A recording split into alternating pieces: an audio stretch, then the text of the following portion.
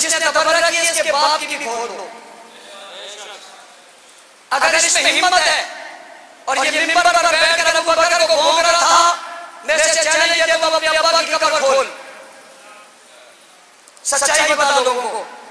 कैमरे लगा लोगों को बता तेरा अब्बा बड़ी मजलिस से पढ़ता था दिखा आज उसका क्या हाल है।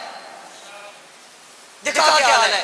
और मैं तेरे चैलेंज के जवाब में अपनी बात कहता हूँ मुझसे कहेगा मैं अपने अब्बा की कब्र खोलता हूँ अल्लाह पे भरोसा करके कहता हूँ मैं खोलता हूँ वो आलिम भी नहीं थे। वो कारी भी नहीं थे।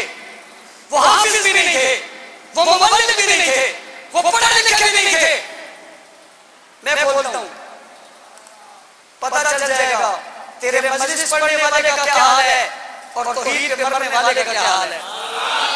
और दुनिया के लोगों तुम मरसिया पढ़ते हो। तुम मजलिस पढ़ते हो तेरे चेहरे पे दाढ़ी नहीं सर पे टोपी और पगड़ी नहीं तुझे मिंबर पे बिठाया कैसे कितना तुम्हारा मिंबर बेकदर है अपने मिंबर को तो कदर वाला बनाओ कितना तुम्हारा मिंबर बेकदर है। बैठने वाले की नस्ल तो देख। असल तो देख, इल्म तो देख, कोई खूबी तो देख, हर शराबी को बिठा देते हो।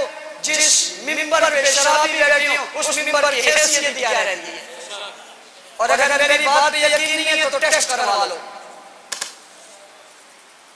मैं बड़े, मैं ऐसी बात नहीं किया करता मैं बड़े एतमाद से टेस्ट करवा लो।